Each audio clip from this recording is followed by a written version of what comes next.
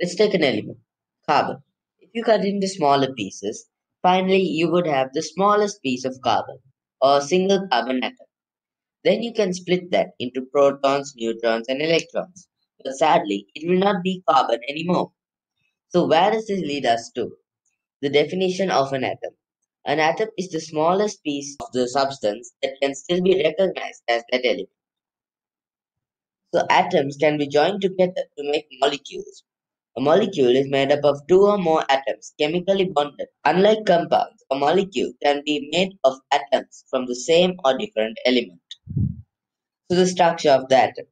Here, in the nucleus, the protons and neutrons are present, while the electrons move around in the orbitals. The properties of the subatomic particles are as follows.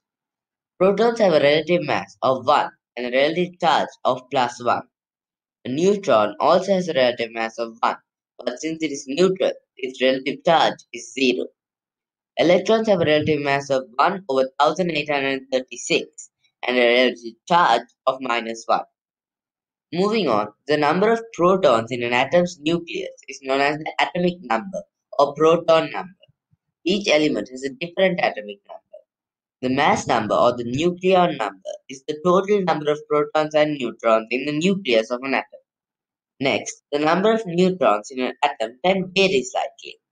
Isotopes are atoms of the same element which have the same number of protons but different neutrons. In other words, the same atomic number but different mass numbers.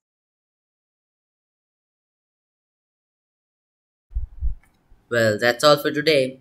If you preferred it instead of a whack in the face with your textbook, then like and consider subscribing.